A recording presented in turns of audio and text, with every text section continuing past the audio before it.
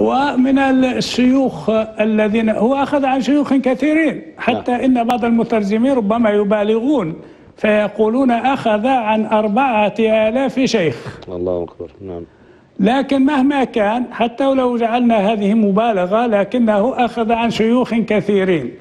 لكن آه، من الشيوخ الذين التزمهم يعني وقتا طويلا هو حماد بن أبي سليمان الذي أخذ عن إبراهيم النخعي والذي بدوره أخذ عن علقم بن قيس النخعي والذي بدوره أخذ عن عبد الله بن مسعود الصحابي المشهور. نعم. فإذا سلسلة, سلسلة, سلسلة أبي حنيفة رحمه الله يعني متصلة إلى الصحابي الجليل عبد الله بن مسعود.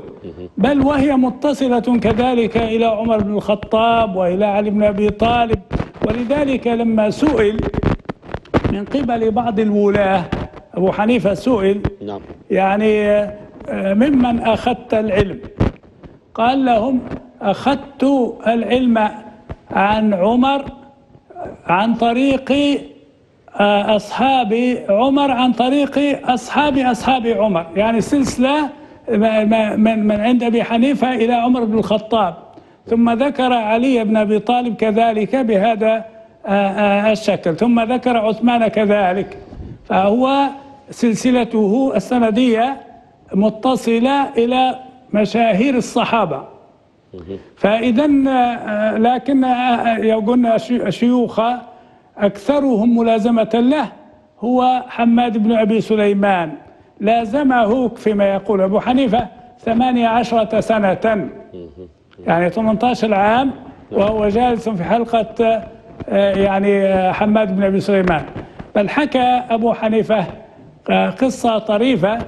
قال لما لازمت حمادا مدة ليست قصيرة حدثتني نفسي بأن أتخذ سارية نعم لوحدي مستقلة نعم. رأى في نفسه أنه يعني اكتمل بناؤه الفقهي قال لكن لما دخلت المسجد ورأيت حماد بن أبي سليمان وهو جالس في حلقة في حلقته ندمت على ما كنت قررت وجلست معه حتى توفي سنة عشرين ومائة للهجرة. الله أكبر نعم. هذه أطول مدة نعم. وطبعا في هذه المدة كان يسافر بين الحين والآخر خصوصا إلى مكة. فقد سافر مرات كثيرة وإلى البصرة كما ذكرنا لكن مجموع المدة التي كان يقضي أكثرها عند شيخه حماد بن أبي سليمان هي ثمانية عشرة سنة وهي مدة طويلة نعم. نعم. يعني لم يجلس التدريس شيخنا حتى توفي شيخه حماد. هو ذاك نعم, نعم. باستثناء ما باستثناء ما قام به من تدريسه لعلم الكلام في حياة شيخه قبل أن يقرر أخذ الفقه عنه. نعم نعم. نعم. نعم. آه كذلك من, من الذين ذكروا آه أو من ذكره المترجمون من شيوخه الشعبي آه عامر بن شراحيل المتوفى سنة خمس ومائة للهجرة أخذ عنه الفقه. والشعبي سبق أن ذكرناه وقلنا مع أنه ما يعني في في في وجوده في بيئة المدرسة العراقية إلا أنه كان من رواد المدرسة الحديثية. أها نعم. يعني ذكرنا إحنا أن بعض من سكن الحجاز كان يرى الرأي مع أنه عاش في المدرسة الحديثية. ذكرنا منهم ذكرنا ربيعة الرأي. ربيعة بن أبي ربيعة. وقلنا هذا حجازي لكنه كان يميل إلى الرأي كثيرا. وذكرنا الشعبي مع أنه عاش في البيئة العراقية بيئة الرأي وبيئة القياس إلا أنه كان يعني يلتزم الحديث ولا يخرج عنه. نعم. فهذا الشعبي أخذ عنه آه، أبو حنيفة. ولذلك بهذه المناسبة نقول نعم. يعني بعض الناس الذين يتهمون أبا حنيفة بأنه قليل الحديث هؤلاء يعني غلطوا في هذه المسألة. فأبو حنيفة محدث نعم. لكنه إذا قالوا يعني هل هو بدرجة الإمام مالك أو بدرجة الإمام أحمد نقول لا. ولكن لا يوجد إمام أتباعه بالملايين منهم فطاحلة منهم مجتهدون. لا يعرف الحديث. مستحيلة هذه أصلا. نعم. لا يمكن أن يؤخذ منه كلمة واحدة.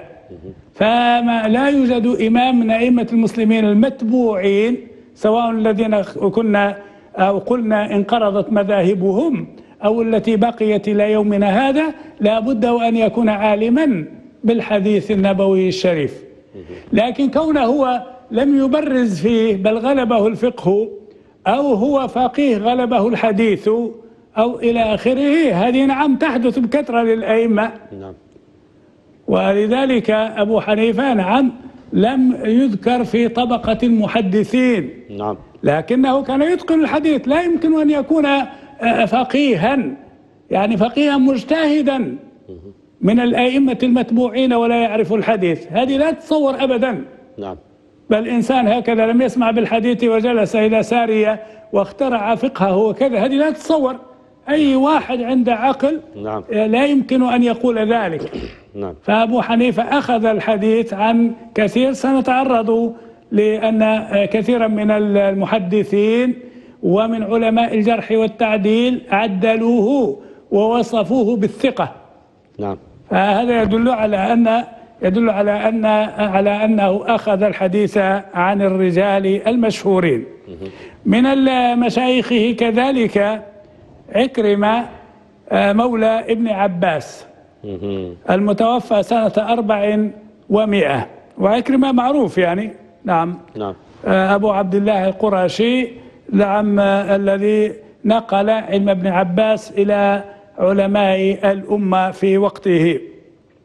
كما سمع ويعني و و و ومن من نافع مولى عبد الله بن عمر.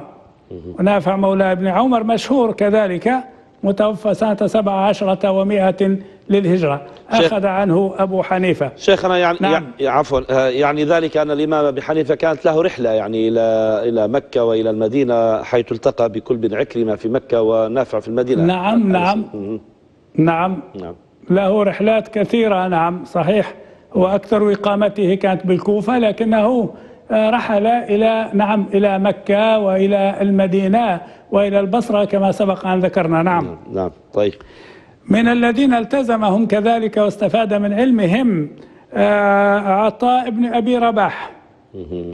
عطاء بن أبي رباح المتوفى سنة أربع عشرة ومئة للهجرة نعم أخذ عنه آه، أبو حنيفة ولازمه سنوات كثيرة وكان آه، يفضله ويقربه على كثير من أصحابه. ولذلك نقل لنا بعض المترجمين إلى أن إذا اكتملت حلقة عطاء بن ابن أبي رباح وجاء أبو حنيفة متأخرا فإنه يوسع له حتى يكون على مقربة من من شيخه عطاء بن أبي رباح. طيب.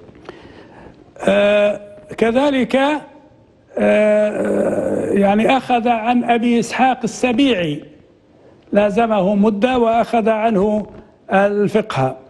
وهشام بن عروة أخذ عنه الفقه والحديث وهو من مشاهير المحدثين.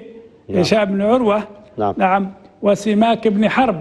هؤلاء أخذ عنهم آه، أبو حنيفة. نعم.